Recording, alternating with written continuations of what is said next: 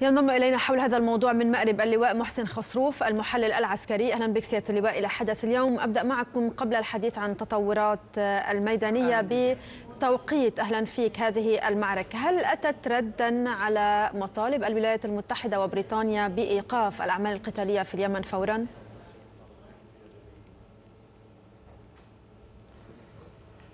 ليس ذلك هو حسب ولكن ما تضمنه جزء من المشروع الذي يتحدث عن حكم ذاتي وتفتيت لمناطق اليمن و يعني إغفال المرجعيات الرئيسية الثلاث المبادرة الخليجية وآلية التنفيذية المزمنة ومخرجات الحوار الوطني والقرار 22 16 وكل هذه المرجعيات ذات الأهمية التي دفع الشعب اليمني من أجل الوصول إليها عشرات الآلاف من الشهداء والجرحى وعشرات الآلاف من الأرامل واليتامى والثكالى.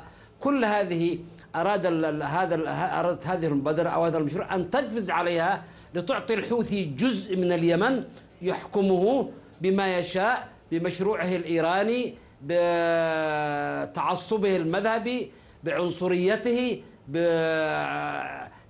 على الشعب اليمني بكل هذه الأمور في مجموعها الرد عليها هو العمليات العسكرية الجارية الآن في الحديدة. وأنا دائما أؤكد أن الجيش الوطني اليمني على استعداد ولديه القدرة المادية والبشرية أن ينجز عملية استعادة الدولة في وقت قريب جدا. لولا هذه الكوابح من كيري وما قبل كيري إلى هذه اللحظة. ولكن كيف ذلك؟ كيف ذلك أستاذ محسن؟ و و وال يعني المعارك لها أكثر من سنتين ولا تزال الأمور على حالها. يعني لو نأخذ مثلا معركة الحديدة كم مرة جمدت هذه المعركة ولم يتم استعادتها بالكامل؟ طبعا المسألة واضحة. مش بس الحديدة. كم لمعركة تعز ولم تنجز؟ كم للقوات الجيش الوطني مجمدة في جبهة نهم وفي جبهة صرواح ولماذا تعطلت عملية البيضاء كل العملية هذه مجمدة في مناطقها الرئيسية بفعل فاعل بفعل الضغوط الدولية على التحالف وعلى الجيش الوطني على الدولة الشرعية اليمنية. بحجة أن ثمة حلول بديلة وهي حلول سلمية.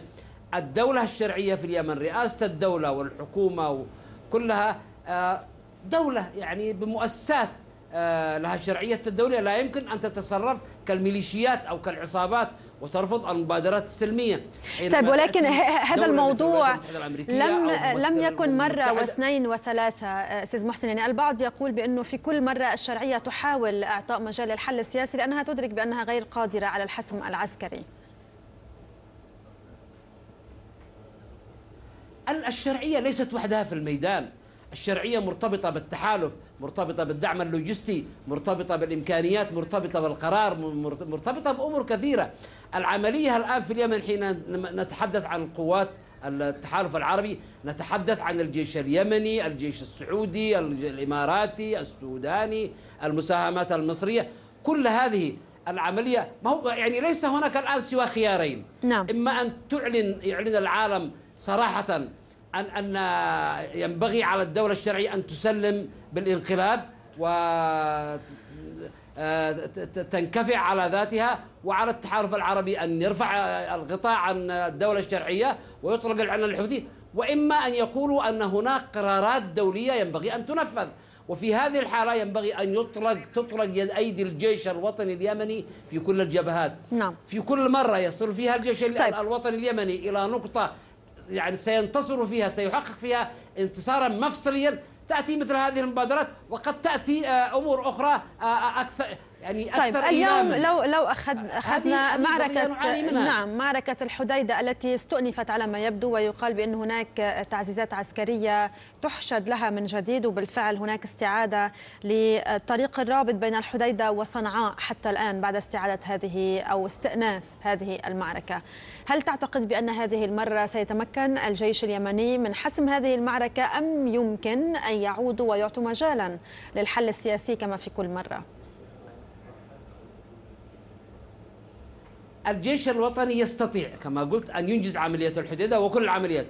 ولا تلقوا بارا لما يقال عن أن الحوثي يحفر الخنادق ويعمل شبكات خنادق ويهدد الحياة. الجيش الوطني يعرف كيف يصل إلى كل منطقة في الحديدة وإلى مينائها الرئيسي وإلى إنجاز التحرير الكامل. يعرف هذه ويعرف المداخل ومخارج المدينة. المهم هو الا يواجه بكرت أحمر من جديد. ألا يواجه بكلمة ستوب من جديد. هذه المشكلة. لأنه آه، ليس هناك في هذه الحالة آه، ما أدري. هل أقول أنه ليس ليس امل الجيش الوطني سوى أن يستمر في هذه المعارك بغض النظر عن ردود الأفعال الإقليمية والعربية والدولية؟ هذا ما يعني ما يبغى يطرح. عملية الحديدة تكاد يعني تنتهي. لكن تحرير الحديدة وضمان أي انتصار في الحديدة مرهون بتأمين الجزء أو الحدود الشرقية للمدينة للحديدة للمحافظة بالكامل. هذا الجزء الشرقي. هناك ثلاث طرق رئيسية في منتهى الخطورة.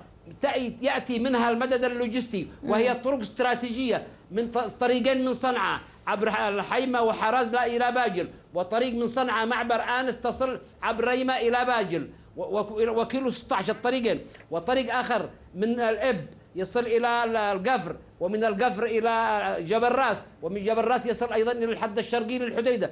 وهذه تأتي من مناطق فيها فيها مخازن لوجستية. وعلى طريق آه، معبر آه، آنس آه، الحديدة في مراكز تدريب وعقد اتصالات ومخازن لوجستية نعم. مخازن أسلحة ومخازن صواريخ ومخازن عتاد ومواد غذائية. هذه الطرق الرئيسية ما لم تؤمن.